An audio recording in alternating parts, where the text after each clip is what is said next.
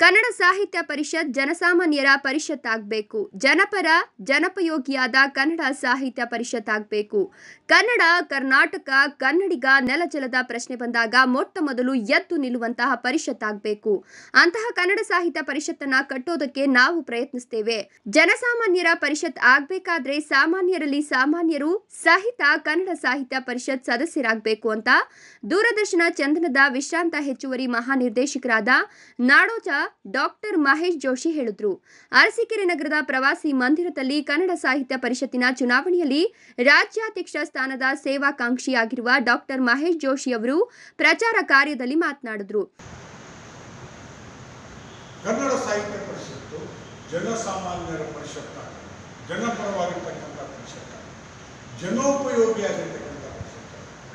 ಕನ್ನಡ, ಕರ್ನಾಟಕ ಕನ್ನಡಿಗ ನೆಲ ಜಲದ ಪ್ರಶ್ನೆ ಬಂದಾಗ ಮೊಟ್ಟ ಮೊದಲು ಎದ್ದು ನಿಲ್ಲಬೇಕಾಗಿರ್ತಕ್ಕಂಥದ್ದು ಕನ್ನಡ ಸಾಹಿತ್ಯ ಅಂತಹ ಕನ್ನಡ ಸಾಹಿತ್ಯ ಪರಿಷತ್ತನ್ನು ಮಾಡೋದಕ್ಕೆ ನಾನು.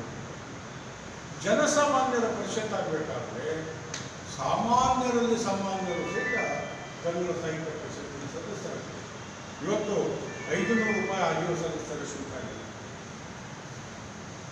ಇನ್ನು ಐನೂರು ರೂಪಾಯಿ ನೀವು ಕನ್ನಡದ ನುಡಿಬೇಕಾದ್ರೆ ಕೊಡಬೇಕಾಗುತ್ತೆ. ಹಾಗಾಗಿ ಆದರೆ ಕನ್ನಡ ಸಾಹಿತ್ಯ ಪರಿಷತ್ತು ವಾಣಿಜ್ಯ ಸಂಸ್ಥೆ ಅಲ್ಲ. ಕರ್ನಾಟಕ ಉಚ್ಚ ನ್ಯಾಯಾಲಯದ ವಿಶ್ರಾಂತ ನ್ಯಾಯಾಧೀಶರಾದ ನ್ಯಾಯಮೂರ್ತಿ ಅರಳಿ ನಾಗರಾಜ್ ಇವರು ಪ್ರಚಾರ ಕಾರ್ಯಕ್ರಮದಲ್ಲಿ ಮಾತನಾಡಿ, ಅಪಮೌಲ್ಯಗಳೇ ಮೌಲ್ಯಗಳಾಗಿವೆ, ಮೌಲ್ಯಗಳು ನಶಿಸಿ ಹೋಗಿವೆ. ಇಂತಹ ಸಂದರ್ಭದಲ್ಲಿ ಸಾಹಿತ್ಯ ಪರಿಷತ್ ಅಂದ್ರೆ ಆದರ್ಶ ಅನುಕರಣೀಯ ಸಂಸ್ಥೆಯಾಗಬೇಕಿದೆ. ಆದ್ದರಿಂದ ಕನ್ನಡ ಸಾಹಿತ್ಯ ಪರಿಷತ್ತಿನ ಚುನಾವಣೆಯಲ್ಲಿ ರಾಜ್ಯಾಧ್ಯಕ್ಷ ಸ್ಥಾನದ ಸೇವಾಕಾಂಕ್ಷಿಯಾದ ನಾಡೋಜ ಡಾಕ್ಟರ್ ಮಹೇಶ್ ಜೋಶಿ ಅವರನ್ನ ಅತ್ಯಧಿಕ ಮತಗಳಿಂದ ಗೆಲ್ಲಿಸುವಂತೆ ಮತದಾರರಲ್ಲಿ ಮನವಿ ಮಾಡಿದ್ರು.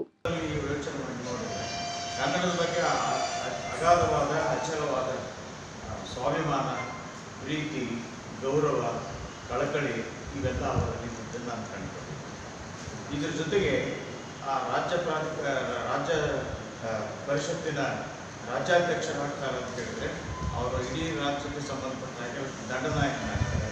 ನಾಯಕತ್ವದ ಗುಣಗಳನ್ನು, ಗುಣಗಳು ಅವರಲ್ಲಿ ಇರಬೇಕಾಗುತ್ತೆ. ಆ ಆ ದೃಷ್ಟಿಯಿಂದ ನಾನು ನೋಡಿದಾಗ ಅವರಲ್ಲಿ ನಡೆನುಡಿ ವ್ಯತ್ಯಾಸ ಇಲ್ಲದೆ ಗುರುತಿಸಿದೆ ನಾನು ಈ ಸಂದರ್ಭದಲ್ಲಿ ಪ್ರಚಾರ ಸಮಿತಿಯ ರಾಮಲಿಂಗ ಶೆಟ್ಟಿ ನಬಿ ಸಾಬ್ ಸಿದ್ದೇಗೌಡ ಅರಸಿಕೆರೆ ಸಾಹಿತ್ಯ ಪರಿಷತ್ತಿನ ನಿಕಟಪೂರ್ವ ಅಧ್ಯಕ್ಷ ಶಿವಮೂರ್ತಿ ಜಾವಗಲ್ ಪ್ರಸನ್ನಕುಮಾರ್ ಕರವಿ ತಾಲೂಕು ಅಧ್ಯಕ್ಷ ಹೇಮಂತ್ ಕುಮಾರ್ ರೈತ ಸಂಘದ ರಾಜ್ಯ ಸಂಚಾಲಕ ಕನಕಂಚನಹಳ್ಳಿ ಪಟೇಲ್ ಪ್ರಸನ್ನಕುಮಾರ್ ಸಂಗೀತ ಶಿಕ್ಷಕಿ ವೀಣಾ ಪತ್ರಕರ್ತ ಆನಂದ್ ಕೌಶಿಕ್ ಸಂಕೊಂಡ್ನಳ್ಳಿ ಶೇಖರ್ ಕನ್ನಡ ಸಾಹಿತ್ಯ ಅಭಿಮಾನಿಗಳು ಉಪಸ್ಥಿತರಿದ್ದರು.